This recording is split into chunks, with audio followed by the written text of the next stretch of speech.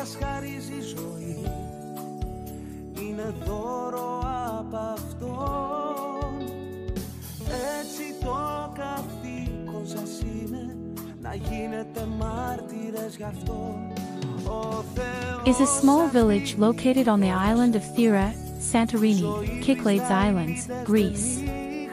Since the local government reform in 2011, this village is part of the municipality of Santorini. The main street in this village is called Nikolaou Nomikou. Based on the 2011 census, the population was recorded at 1,545 people and an area of 19,449 square kilometers.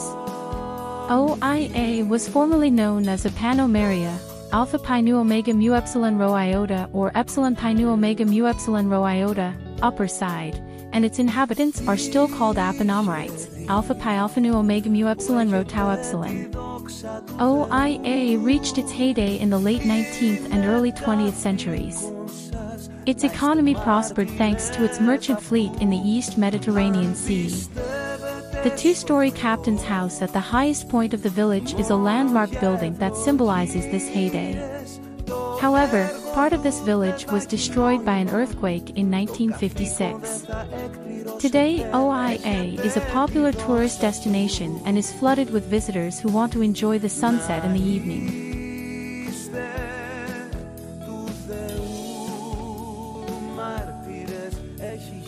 OIA is one of the most iconic villages in the world.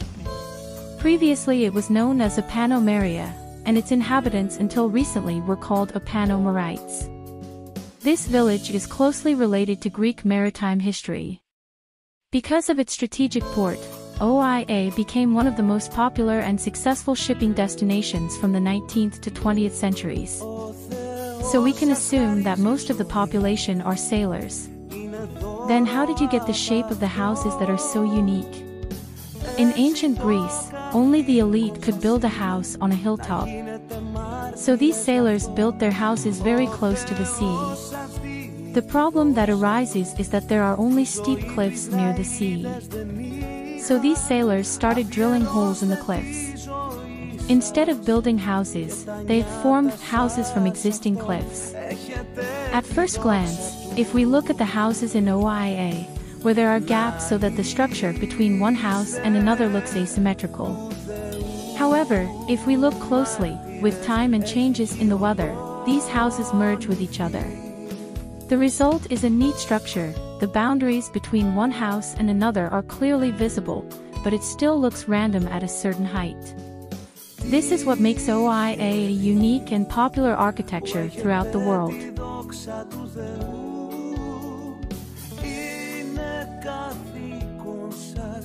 To Santorini, Greece you have to go to OIA village.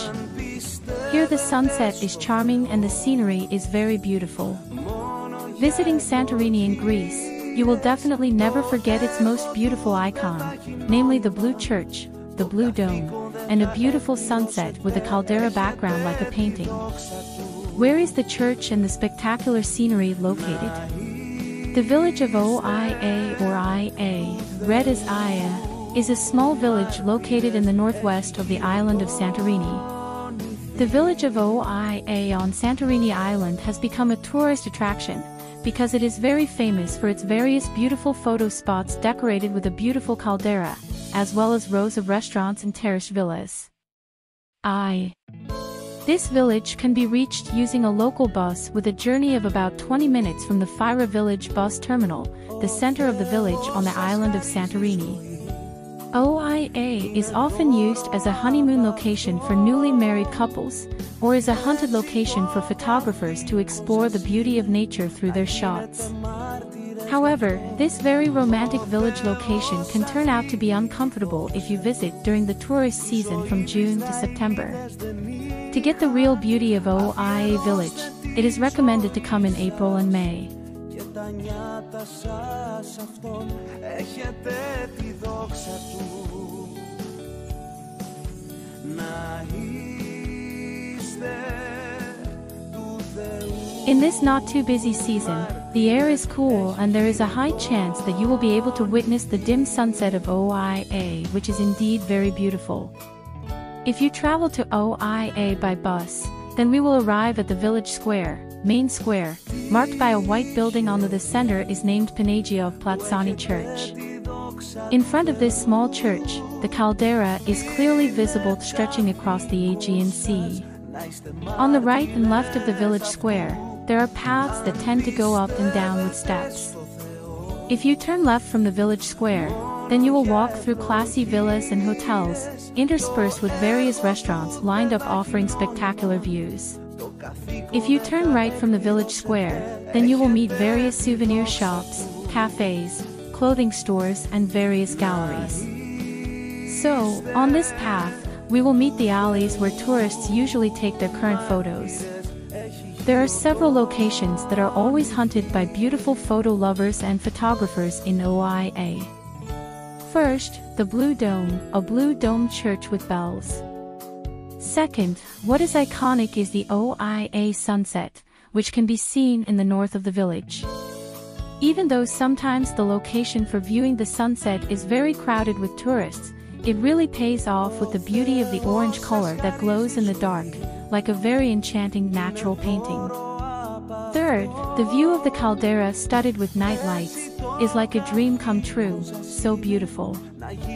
Fourth, several galleries and restaurants can also be unique photo spots for those of you who like to capture every moment, because of their unusual interior and layout, accompanied by alleys. Hallways or cute decorations that are hard to find on other islands.